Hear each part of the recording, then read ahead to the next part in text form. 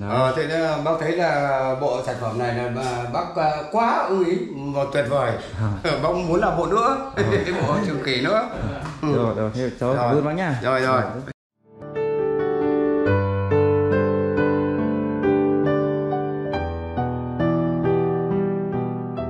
À, đầu gỗ Tùng Tám xin kính chào bác nhá. Hiện tại thì à, buổi sáng ngày à, 28 tháng 3 năm 2021 thì à, hôm nay à, chúng tôi có đến và lắp đặt cho gia đình nhà bác à, Động Khảm ở tại khu 4 Đồng Lương bác nhỉ.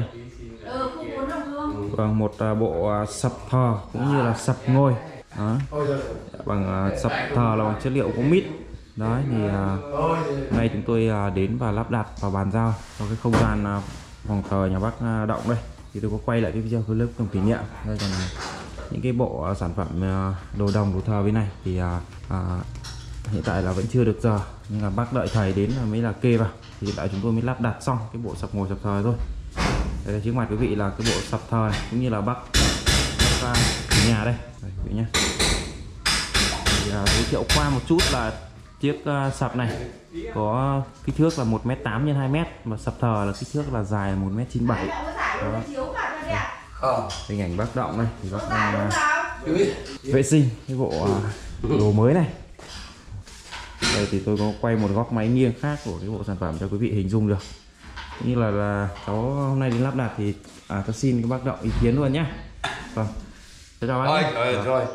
thì à, bác cho cháu lời nhận xét luôn cái sản phẩm này bọn cháu bàn giao bác nhỉ Đó. Ờ, thế nên bác thấy là bộ sản phẩm này là mà bác à, quá ưng ý và tuyệt vời. Bác muốn làm bộ nữa, bộ trường kỳ nữa. Ừ. rồi rồi thế cháu cảm ơn bác nhá Rồi, rồi. Đây quý vị này. Này mà trải cái chiếu cái chiếu thì đẹp rồi, thế nhưng mà trải lên nó vẫn cái này là khỏi lát đi.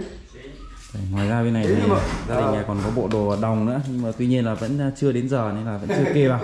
Bộ này chắc cũng 10 món đúng không bác? Ờ, không biết bác À, biết vâng. mười món, đã mười món. Bộ thờ đồng rất là đẹp nhá quý vị nhá. Rồi, bên trong này là hình ảnh nhà chiếc uh, sập thờ đây. Đây là mẫu mai điệu à đục tay thủ công chất liệu gỗ mita ok mọi người nhá đây trong kia là hình ảnh bá này, vị này các bác vâng rất cảm ơn các bác Rồi. Vâng, ok nhá. Quý vị có nhu cầu thì liên hệ xưởng đồ gỗ Tùng Tám nhé. Xưởng có địa chỉ tại Văn Phúc Cầm Khê Thọ số điện thoại là 0987 51086. Website đồ gỗ tùng 8.com. Ok.